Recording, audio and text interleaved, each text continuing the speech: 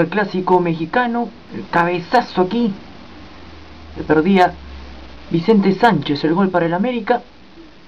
Aquí la tuvo el conjunto de las Águilas con Bozo. La perdió el ex Santos. Aquí lo va a tener el Bofo Bautista y bien, el arquero Memo Ochoa, evitando el tanto. Y aquí otra buena tajada de Ochoa tras el remate de Arellano. Aquí lo va a tener Bravo. Y esa pelota que se va fuera de la cancha. El partido terminó 0 0 el clásico del fútbol mexicano.